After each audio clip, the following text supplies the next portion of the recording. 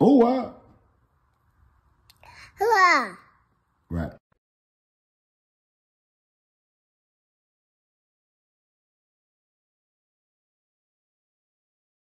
on my oh, mama for motherfuckers talking about my tattoo and all that on my brother. Niggas know they wasn't checking shit in the county, man. Niggas wasn't on shit. And Mike, Mike, you really scary as hell. Boy, them niggas had you scared as hell in that bitch. Your own homie, boy. And you can't even go back to your hood. Stop mentioning my name. My brother Gray, nigga.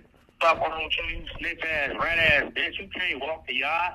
You can't even afford to even be talking to me like you crazy, man. For them grades. Pump your brakes. Make sure y'all hit that thumbs up. That's the like button. Also hit the notification bell. That way you get notifications from me every time I drop this hot ish off the press. Now here we go. Oh wow.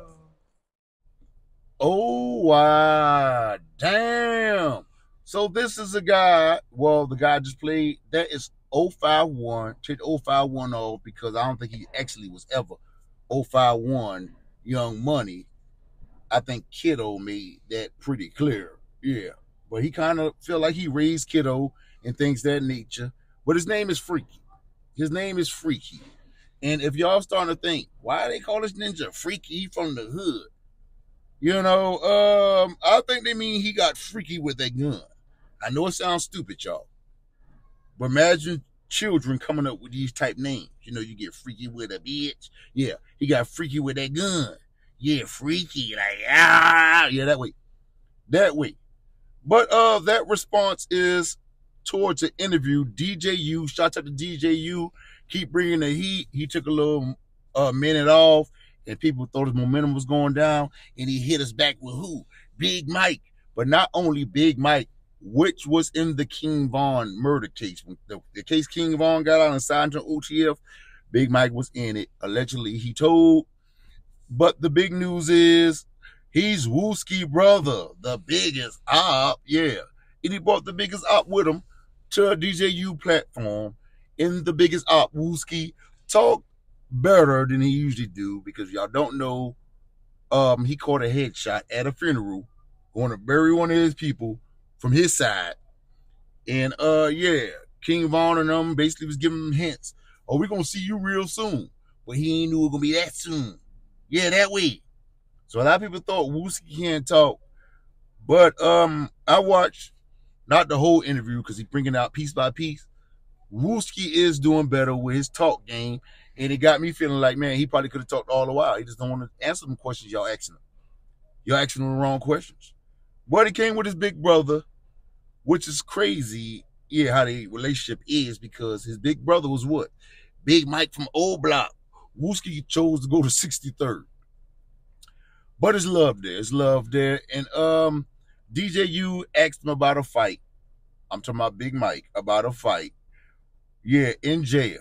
Like I didn't know. Okay, King Von, we already know. I'm not gonna show the footage because I don't want you to scrap my page. I have before though before I had to take all my videos down when they demonetized me. yeah. So we're gonna keep it like this. Just believe what I see. Yeah. So um it was an incident where King Von slipped slipped out the cuffs and beat this dude freaky ass, yeah, in the bullpen. If you don't know what the bullpen is, it's when everybody about to go to court and they got everybody in one ass big ass room with your ops, yeah, your cousins, your uncle, yeah, everybody. Everybody. And uh Freaky uh basically put a FLA on his arm. You don't know who LA is? That's LA Capone. Yeah, RP to him. I believe he would have been up there like Lil Durk if he was still living. He had the swag, you know, everything to go with it. But unfortunately, he went to a studio. Somebody backdoored him, in my opinion. Yeah, when he was making fire music, went to a studio and got backdoored, right?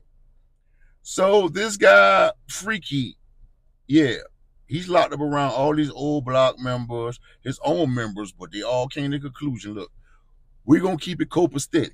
This was Big Mike saying I'm gonna play him after I finish running my jibs. Yeah, we can keep it copacetic unless somebody like directly you know killed your homeboy or something. Then you know it's gonna pop off. We all fighting these big cases, not no small cases. All the boys got murders and all type of ish. I think Freaky's still locked. Matter of fact, he is still locked up now. That's him locked up. Um, talking about the interview with DJU when Big Mike said what I'm gonna let y'all he said after I finish talking. Yeah, that way. Work with me. Work with me. Yeah, it's coming. But um during that process, he got moved to another dome and got FLA on his arm, which is LA Capone. Look him up. Great music. Um, yeah. And um King Von ain't like that. So I guess the whispers going around in the uh, jailhouse. He got FLA on his arm. So when they get in the bullpen, all them going to court. King Von, I thought slipped out the cuffs himself. I was wondering how he did it. I'm like, damn, King Von raw as hell. Nope, he had assistance from Big Mike, who was his co-defendant at the time. Even though they said he told, I guess they still was kind of, you know, probably about that time, King Von didn't know which route he was going with. But he asked Big Mike, let Big Mike tell it. Hey man, you bought the picks. I don't know what the picks is. It's something to help you get the handcuffs. Cause when they seen freaky ass in there and seeing that LA tattoo, King Von wanted to get up that thing and whip his ass. And he did. With the help of Big Mike. But Big Mike spoke on it on DJU, which I'm gonna play after I finish talking. I told y'all that. He spoke on it. So what I played for you prior to me talking is freaky telling you Big Mike a rat.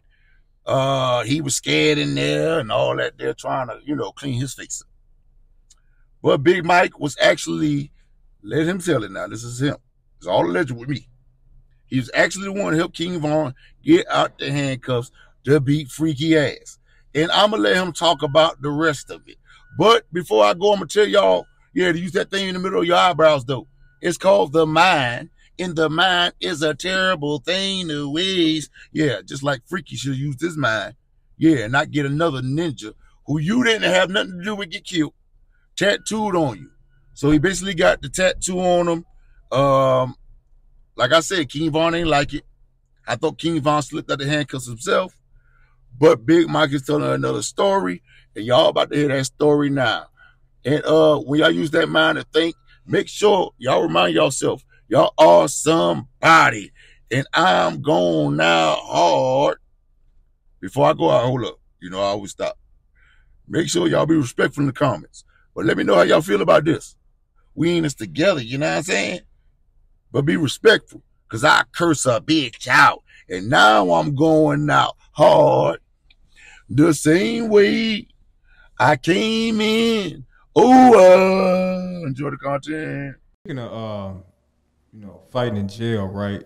Uh, I guess a key question that I forgot to ask in the last one uh, was about um, a jail fight that was uh, surfacing online between King Von and 051 Freaky.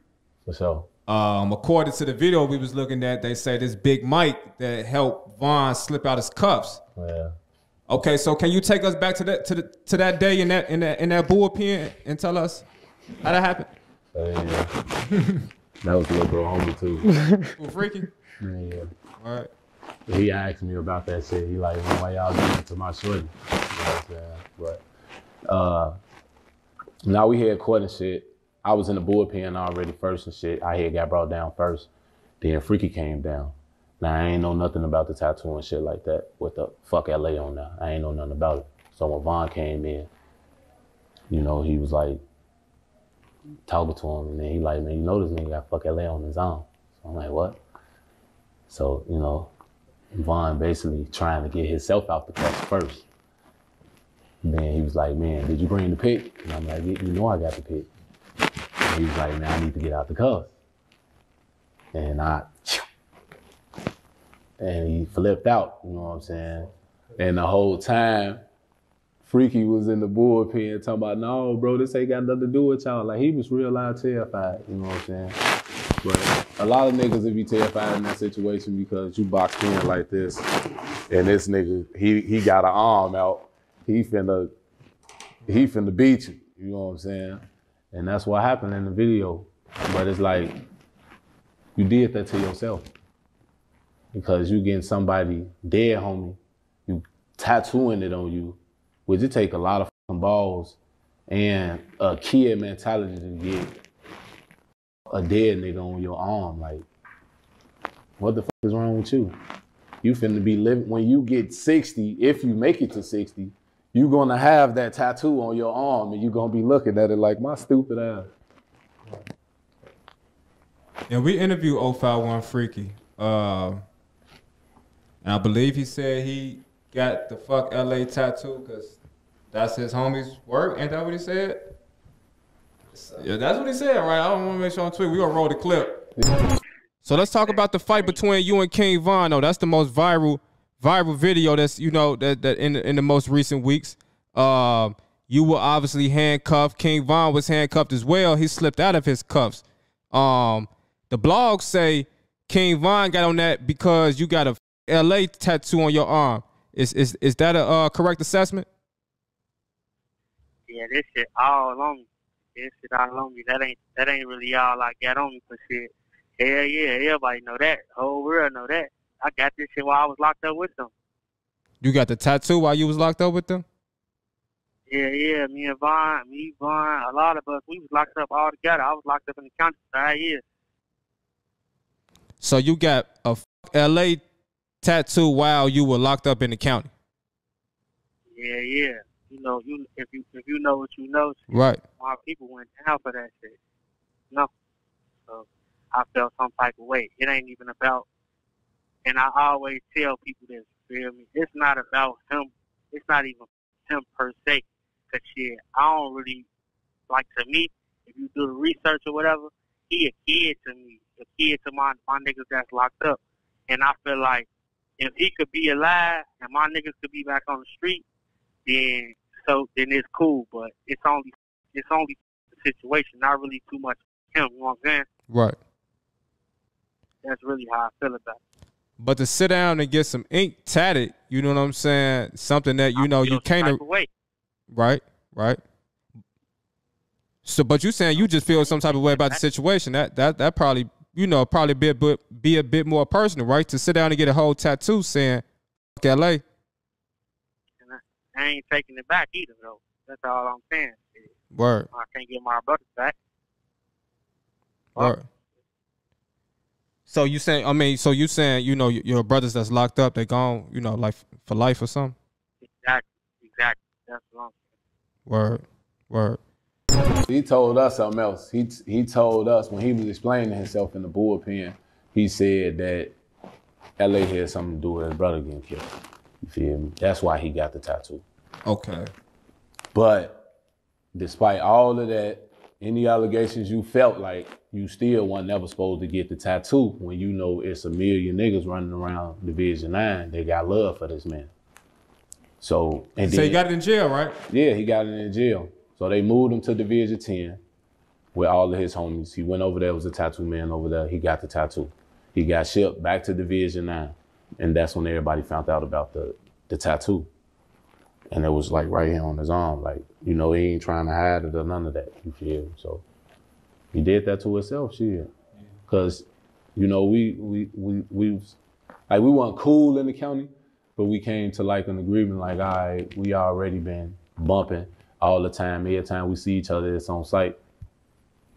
Let's get to fighting these cases, you know what I'm saying?